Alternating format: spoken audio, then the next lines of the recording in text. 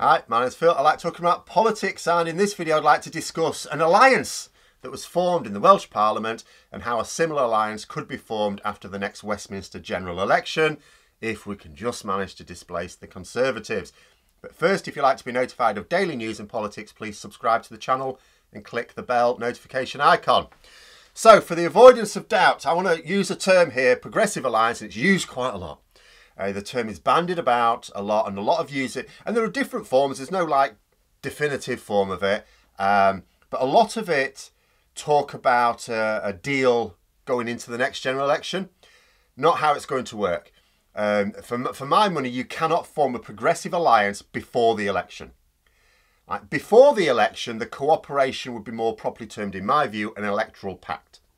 And I'm going to discuss more on that later this week because there's a lot of uh, information and misinformation going around, and there's a lot of things changing. But for now, the Progressive Alliance, for me, is what needs to form after the next election. It will need to form because no one party will win a working majority, and, and it will not be possible to form a coalition either. But before I get onto that, let's look at what's happening in Wales because it's quite exciting in its own way. Um, now, I'd actually better off start by saying this or I'll get into trouble there is also an alliance in Scotland between the SNP and the Greens. And yes, this also shows how you can have an alliance of parties without a formal coalition. It's also similar to Wales in that the, uh, there was a similar parliamentary arithmetic at play. But although their agreement, the SNP and the Greens, included common policy aims, the alliance has been formed really for the purpose of pushing Scottish independence, uh, rather than a legislative agenda, even though there is one. So although it is a model of an alliance without a coalition, it's not really a model that can be mapped onto a possible alliance for Westminster. And that's what I'm wanting to do here. What is happening in Wales is very interesting, but the big prize for me is something similar for the whole of the UK. So during the Welsh elections earlier this year, Labour won enough seats in the Senedd to retain power. However, it was with exactly half the seats, 30 out of 60 which was a bit better than in the previous parliament, where they also formed a minority government, but still not a majority, much less a working majority. It means, yes, they fill ministerial posts, but they need to work with other parties to get things through the Senedd. Fair enough. But there's a problem with this. Like you can try and implement a policy or pass legislation negotiating with other parties, and then it fails because uh, you couldn't quite get the numbers, you know, a lot of parliamentary time is then wasted on a dead end. Much better to know in advance that you've got the numbers needed. So Labour Plaid Cymru, the Welsh National Party, have formed an alliance to last three years, along the lines of a common manifesto of policy aims. Now note that the alliance lasts three years. It's not a coalition. It will end with enough time for them to be doing their own thing, working against each other ahead of the next set of elections. But it's a three-year period of cooperation to push reforms that are in both of their interests. It even includes electoral reform. They're going to push to increase the size of the Senedd and improve the level of proportional representation. Because it has to be remembered when people talk about PR, oh, we've got PR in Wales and Scotland. No, you haven't. No, you haven't. Some are elected via proportional representation. Most are first past the post. It's a terrible system. Get it all PR. So they're going to push for a greater um, level of proportional representation in the Senedd. The two parties together also account for 72% of the seats, so that's a strong majority for anything that they have agreed to work on. So as well as electoral reform, it's also going to include work on reaching net zero, improved, not in three years, but plans for it, improved transport links, flood management, rent control, ending homelessness, a national care service, you read this uh, agreement and it's like, it's like they've nicked my wish list and are implementing it as I watch. Which is a real model for how things could work across the UK. And you can see why I'm particularly interested in this one because the list of policies, it's like, oh, that's brilliant.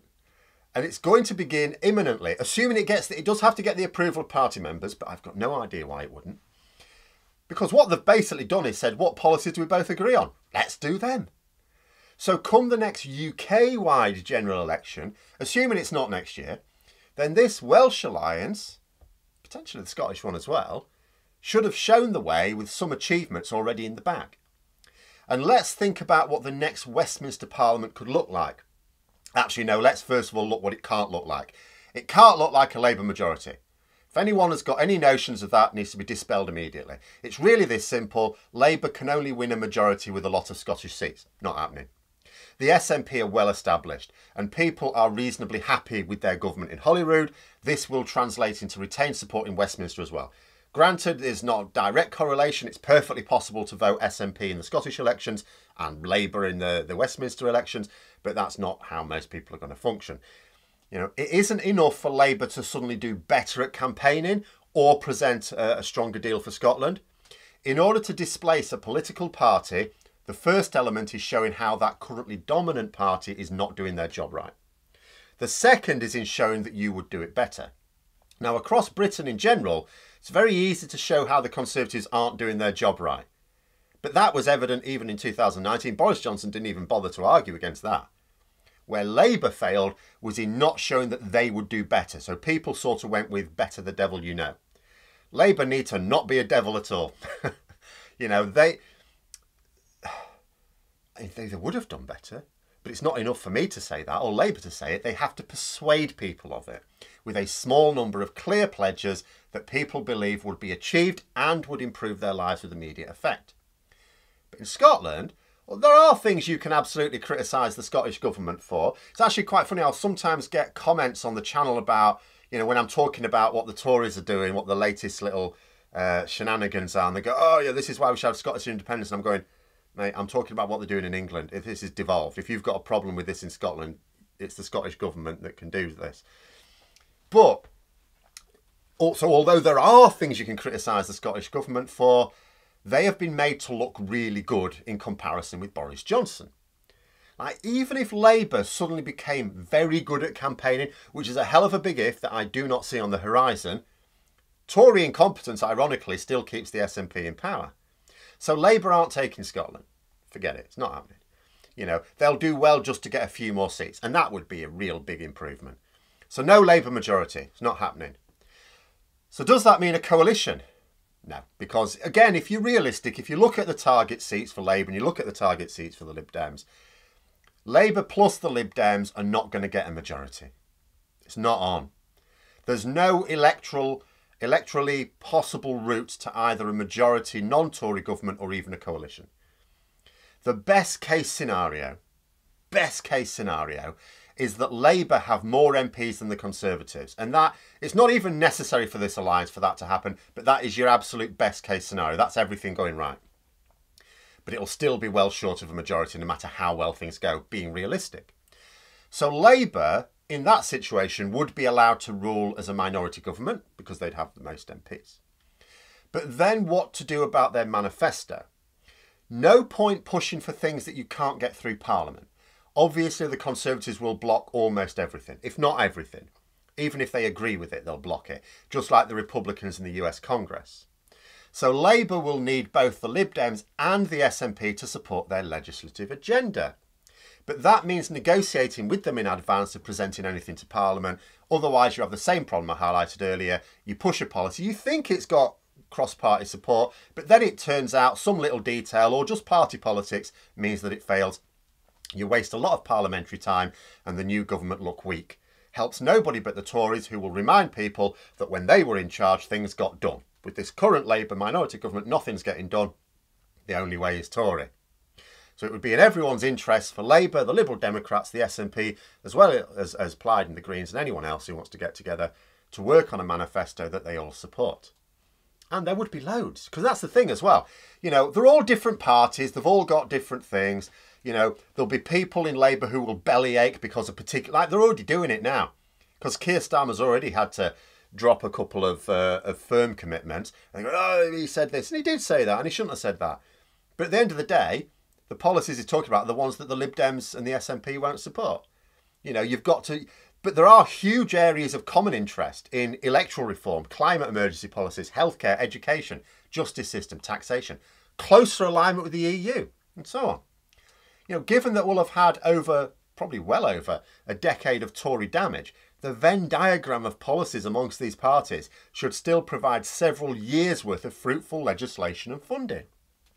The only difficulty that I can foresee is if the SNP look at it and go, well, hang on a minute, if Labour look like they're achieving things, then that does two things. First of all, it drains away some support for independence. Like, just as Boris Johnson and his Tory thugs are boosting the case for breaking up the UK, so, you know, reversing that situation, getting a government that acts in the national interest will cost some. Secondly, it could even result in people talking about comparing the SNP, not the SNP with the Tories, I mean, there's only one winner of that in Scotland, but between the SNP and Labour, for which there is a conversation to be had. But it could equally be the case that the SNP successfully remind everyone that what's happening in the UK is being done with the support of the SNP. It's only possible because of the SNP. In addition, like I said before, to displace the dominant party, it's not enough for Labour to look good there has to be a level of dissatisfaction with the current government because again it's like it's for people it's always a bit of an unknown changing government. If they're happy enough with even if they're not ecstatic if they're happy enough with the current one they tend not to change it you know. So i've seen no sign of, of significant dissatisfaction in scotland. So the snp should be able to support such an alliance without risking their support in scotland which means that party politics shouldn't really throw a, a spanner into this.